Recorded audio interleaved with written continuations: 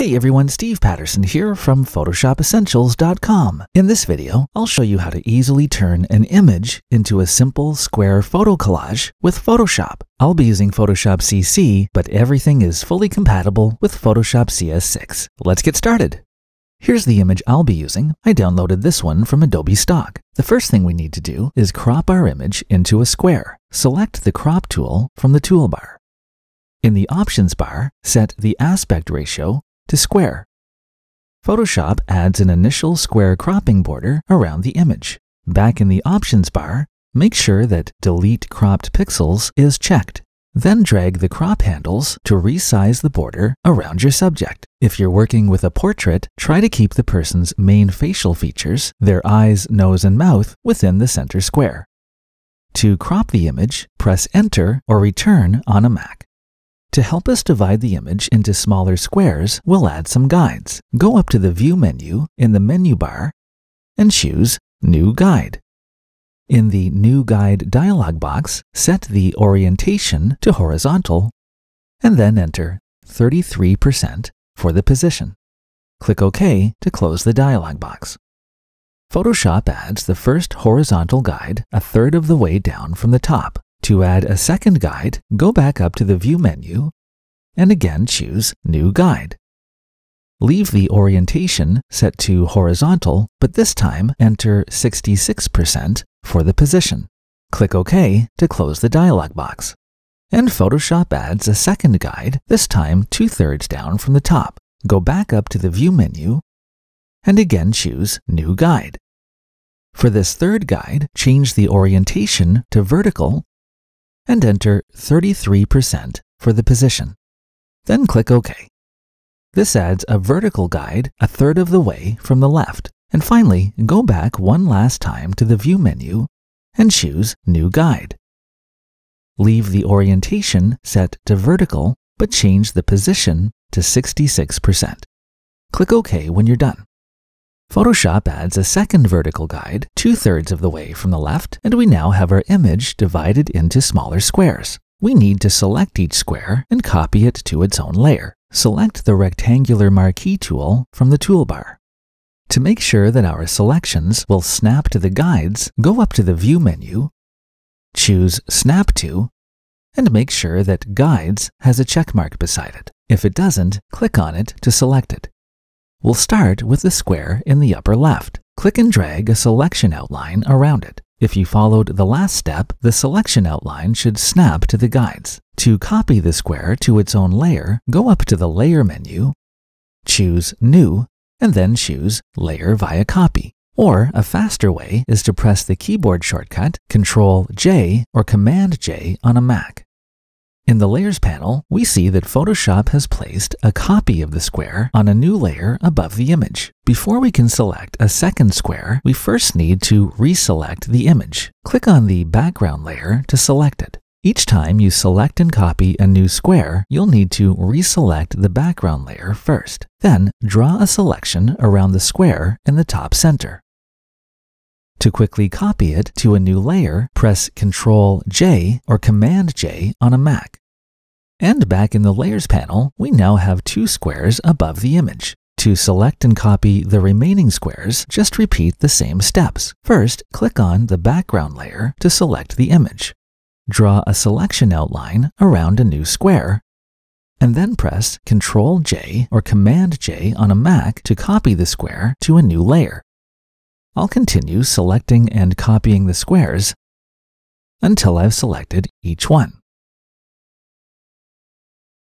And in the Layers panel, we now see all nine squares, each on a separate layer above the image. We don't need our guides anymore, so let's hide them by going up to the View menu, choosing Show, and then choosing Guides.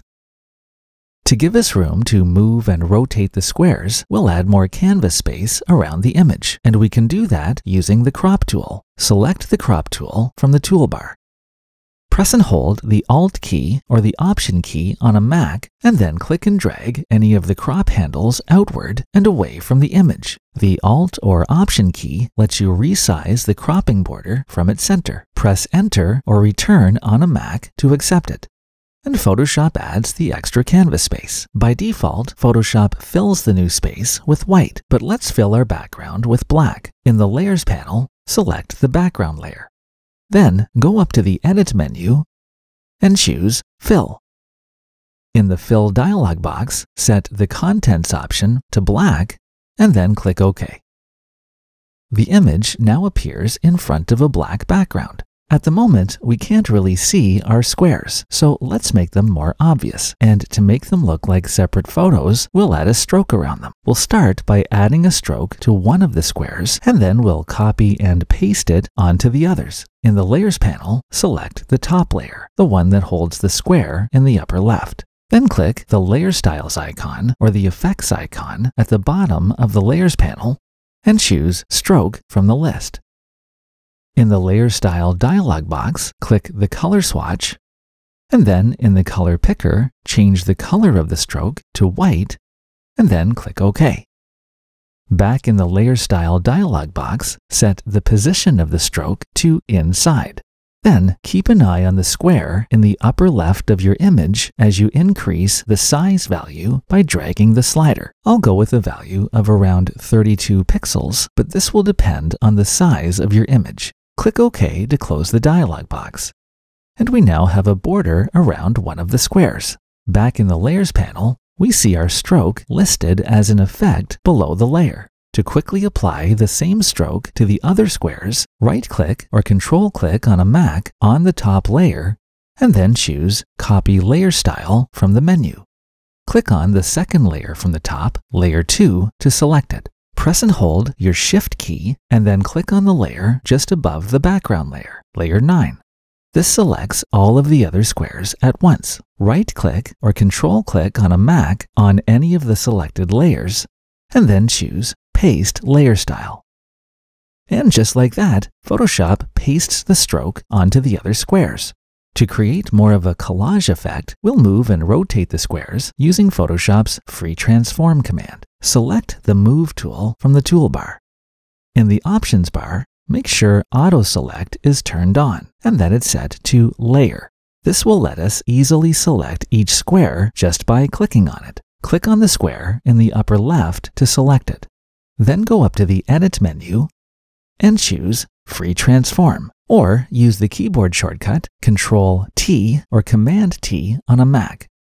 Photoshop places the Free Transform box and handles around the square. To move the square, click and drag inside the Free Transform box. You can also move it using the arrow keys on your keyboard. To rotate it, move your cursor outside the box and then click and drag.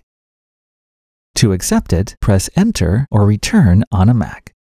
And our first square has been moved and rotated into place. To move and rotate the other squares, just repeat the same steps. First, click on a square to select it, and then press Ctrl T or Command T on a Mac to quickly choose Free Transform. Move the square into place, and then rotate it into position. Press Enter or Return on a Mac to accept it. I'm going to leave the center square in its original spot, but I'll continue moving and rotating the other squares until I'm happy with the results. If you just want to move a square without rotating it, there's no need to open Free Transform. You can just click and drag it with the Move tool, or nudge it into place with the arrow keys on your keyboard.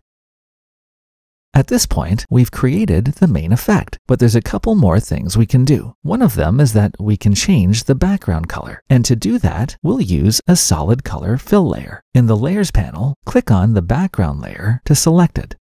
Then click the New Fill or Adjustment Layer icon and choose Solid Color from the list. In the color picker, choose a new color for your background, or choose a color directly from your image by moving your cursor into the image and clicking on a color to select it. Once you've found a color you like, click OK to close the color picker. Finally, let's finish off the effect by adding a drop shadow behind the squares. To add the shadow to all of the squares at once, we'll first place them into a layer group. Click on the top layer, Layer 1, to select it. Then press and hold your Shift key and click on the layer directly above the fill layer, layer 9. This selects all of the squares at once. Go up to the layer menu and choose Group Layers. And back in the Layers panel, all of our squares have been placed into a new group. You can twirl the group open or closed by clicking the arrow next to the group's name. To apply a drop shadow to the group, click on the Layer Styles icon and then choose Drop Shadow from the list. This opens the drop shadow options in the Layer Style dialog box. You can adjust the angle and distance of the shadow from here, but it's easier just to click and drag inside the document. As you drag, you'll see the angle and distance values updating in the dialog box. Once you've set the angle and distance, go back to the dialog box and adjust the size value to soften the shadow edges. You can also adjust the opacity to make the shadow appear lighter or darker. I'll lower mine to 30%. When you're happy with the results, click OK to close the dialog box. And there we have it. That's how to easily turn an image into a simple square photo collage in Photoshop. As always, I hope you enjoyed this video, and if you did, please consider liking it, sharing it, and subscribing to our channel. Visit our website, photoshopessentials.com for more tutorials. Thanks for watching, and I'll see you next time. I'm Steve Patterson from photoshopessentials.com.